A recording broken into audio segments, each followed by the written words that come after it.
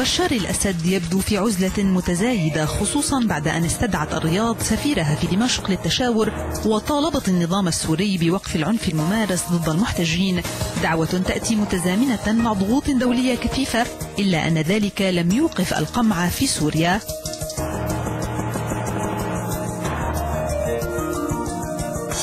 فالعديد من الأشرطة التي لم يتم التأكد من صحتها انتشرت مؤخرا على مواقع المشاركة لتشهد على تدخل الجيش في مدينة دير الزور شمالي شرقي دمشق. صور تظهر المدرعات والآليات المتمركزة في المدينة. أشرطة أخرى تسمح بسماع أصوات النيران في العديد من أحياء دير الزور.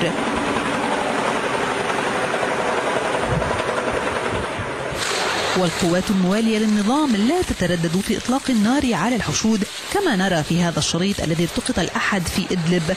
صور تظهر التوتر الذي يسيطر حاليا في البلاد. إلا أن هذا الوضع لا يمنع المعارضين من مواصلة تحركهم والدعوة لإسقاط نظام بشار الأسد. عشرات الأشرطة المصورة المنتشرة على الويب تشهد على التجمعات شبه اليومية التي تنظم في العديد من المدن.